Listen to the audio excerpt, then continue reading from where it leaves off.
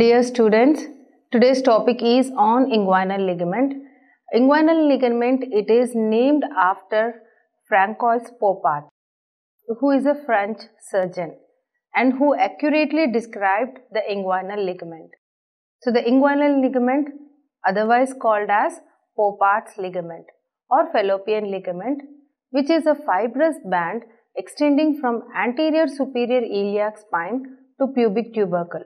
So here we can see the anterior view of bony pelvis showing the inguinal ligament and its attachments. So this white fibrous band is the inguinal ligament.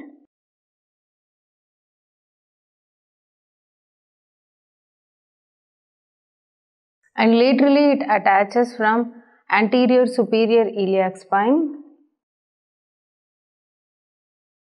I'm writing ASIS and medially it attaches to pubic tubercle.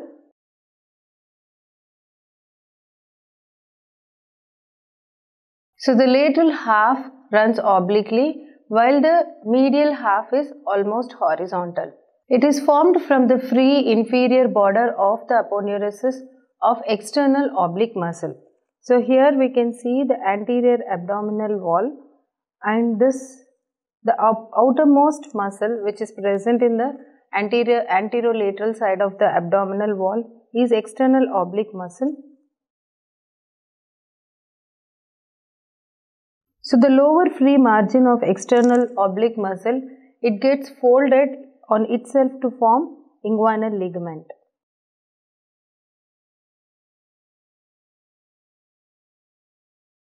So the outermost is the external oblique.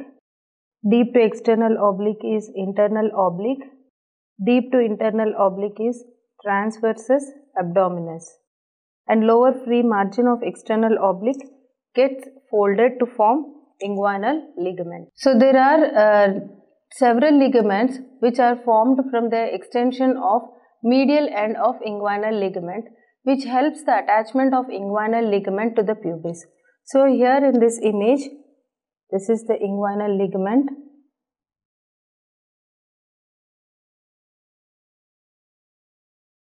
This is the pubis. Superior pubic ramus.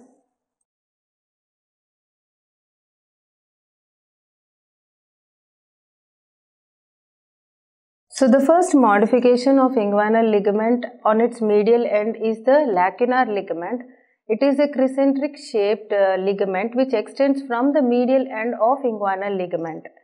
So this crescentric shaped fold is the lacunar ligament.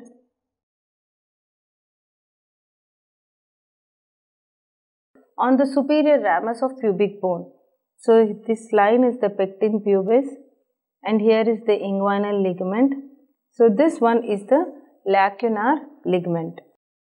The next ligament is the pectineal ligament, sometimes known as inguinal ligament of Cooper. It is named after Astley Cooper and it is an extension of lacunar ligament. Lacunar ligament is otherwise known as Gimbernat's ligament. So this ligament of Cooper or pectineal ligament, it runs on the pectineal line of pubic bone. So along the pectineal line of the pubic bone, the extension of this lacunar ligament is the ligament of Cooper, which is otherwise called pectineal ligament. So we know the inguinal ligament, it is the modification of external oblique aponeurosis. So the upper surface of the inguinal ligament gives origin to external spermatic fascia which continues in the scrotum. So, it is not in the inguinal canal, it extends into the scrotum around the vas deferens that is uh, around the spermatic cord. So, that is about the external spermatic fascia which is extends from its medial part. Internal oblique muscle attaches to the lateral two-thirds of the inguinal ligament. So, here we can see this is external oblique muscle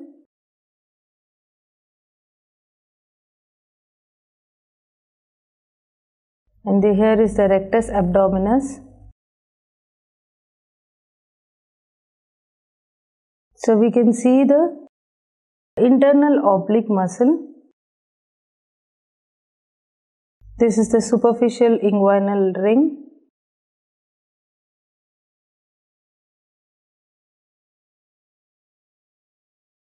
And here is the inferior epigastric vessels.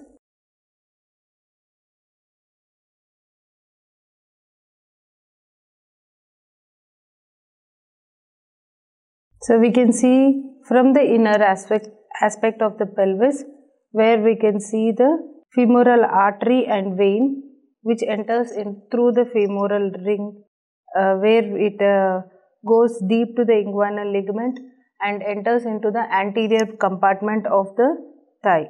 And below the ligament is continuous with the fascia lata of the thigh and upper grooved surface forms the floor of the inguinal canal.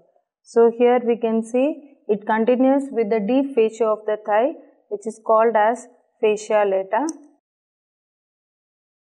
And along the upper margin of fascia lata you can see the inguinal ligament. So the inguinal ligament on its medial part on that is the upper grooved surface forms the floor of inguinal canal.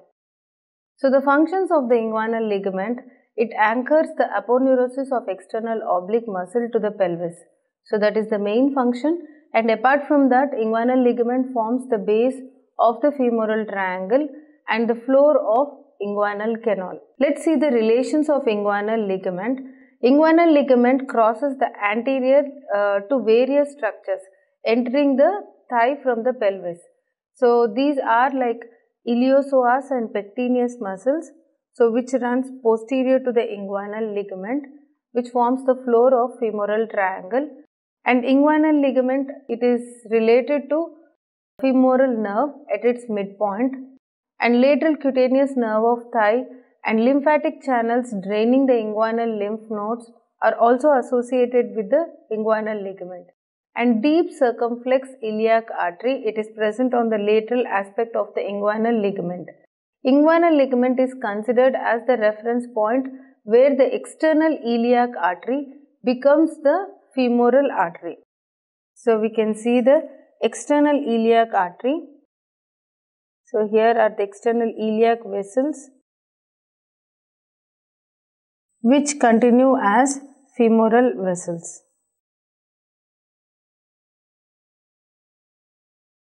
So these are the relations of inguinal ligament. Thank you.